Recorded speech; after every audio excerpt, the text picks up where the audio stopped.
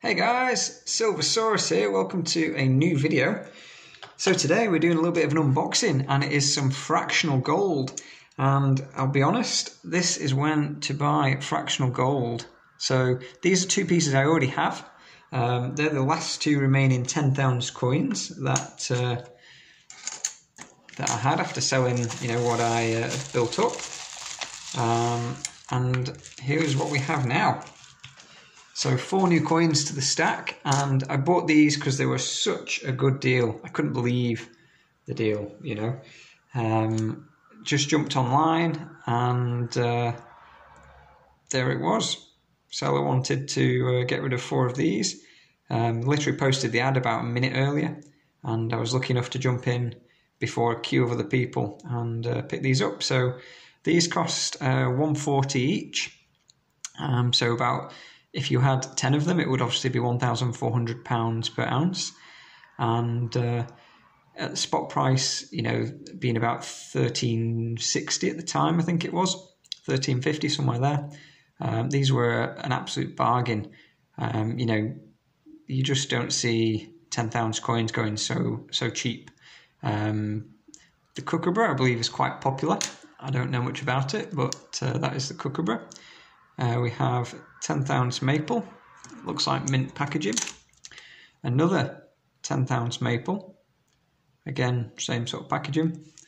And finally, we have an American Gold Eagle. Uh, so this is my first Gold Eagle, never had one before. Uh, to be honest, the design does look better than what I thought. Um, you know, not something I normally buy in England, in the UK, and around Europe. You tend to see the Eagles at a higher premium than most other gold coins, so it just doesn't make much sense to uh, go for them. Um, I know they're not uh, 24 carat. You've got the Buffalo, you know, that's 24 carat. So it uh, it was an easy choice to buy a Buffalo over an Eagle, um, considering that Buffalo is actually a lot cheaper as well. But yeah, I just wouldn't pay the premium really for uh, the American Eagle when you know it's it's basically the same as a Krugerrand. It's just got a different design on. So the Krugerrand premium is obviously a lot lower, and uh, and Britannia's and most of the coins. So yeah, not in a rush to really buy one ounce um, Eagle, but if the price was right, obviously I would pick one up. So yeah, I've basically picked these uh, four 10th ounce coins. Uh, and they join these other two. This Britannia, um, I found it in uh, my storage, or one of my storages. I just forgot about it. So uh, I don't know if that was included in the last 100 pieces challenge. And then this Royal Arms, I picked this up. And uh, yeah, when I sold things like the Krugerrands and uh, Britannias that I had, I kept hold of the Royal Arms because I like it. And you just don't see that many about. And there's the design a bit bigger for those who aren't familiar with it. So that is my pickup, and like I say, I'm happy to buy fractional gold when the premium is, you know, a few percent over spot, um, especially when that's delivered. Would I pay, you know, I've seen people trying to sell these for around two hundred pounds, um, just over two hundred and just under two hundred, and people are buying them. You know, the the kookaburra is perhaps it's popular or low mintage, I don't know, but um, sure it's a nice design, but that's the problem with with these coins. You know, if you want to sell them quickly, you you need to really have a competitive price, and it's just hard to buy them at a competitive price. You know, that's the best deal I've seen on these. Um, probably two or three times in the past year, I've seen such a good price um, on you know on tenth, and that's still you know over the spot price. So. My main issue with fractional gold is the premiums you have to buy it for. Um, you know, if you go to dealers, especially, you might you might get lucky, like I've done. But uh, on the whole, it just makes sense. Um, you know, if you're going to go for fractional stuff in the UK, it makes sense to go for the sovereign. Uh, you know, just under quarter ounce, but very low premium compared to other quarter ounces.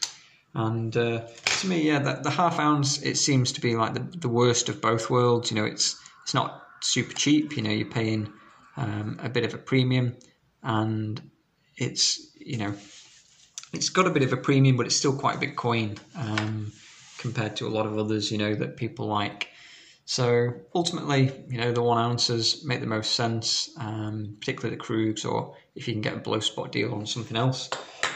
But uh, yeah, happy to pick those up. Um, I probably will just advertise these for sale, and uh, you know, happy to take a bit of profit. Um, you know, like if I can sell them for around about the 160, then uh, you know it's it's about 20 pounds per piece, or over six of them well, not including those two, but uh, you know, over the four, it's uh, around eighty pounds, and for that price, uh, you could buy what an ounce and a not an ounce, definitely not an ounce, a gram and a half of gold, you know, maybe something like that. Um, but yeah, I'd be, I'm at a premium of like fourteen hundred pounds there with those coins, and uh, you know, for something like the uh, Canadian maple I have, which was just over thirteen hundred it's still quite a bit more, but you know, I'm pretty pretty sure you could sell those straight away around about the 150 mark there. Um, you know, something like that. So the problem with, like I say, buying these when you see them at dealers at like 160, 170 pounds each, then that means you're kind of you're buying at 1600 an ounce or 1700 an ounce in pounds, not in dollars.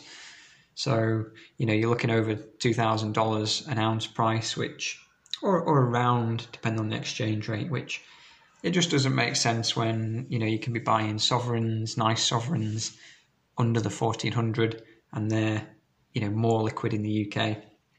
So they're my issues with small gold like this. Yes, it's cheap, you know, in terms of it's only a hundred and something pounds. It's not, you know, over a thousand pounds, um, and a lot more people can afford this. But there are also, you know, a lot of people who um, they would perhaps rather you know keep to the lower premiums. So when you see this at 160 pounds at the moment, yes, it's it's cheap in terms of it's only 160, but it's expensive that you're paying 1600 an ounce equivalent. So it depends how the buyer looks at it, and uh, that's why I don't tend to buy these, but it's why I jumped on the deal when it came available.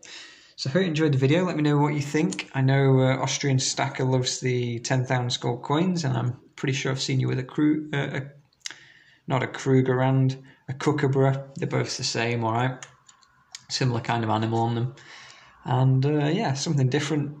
Like I say, getting an American Eagle when uh, you're in the UK at a low premium is pretty rare. So nice to have them, and you can't go wrong with uh, the maples. You know, beautiful design and uh, obviously four nine's fine.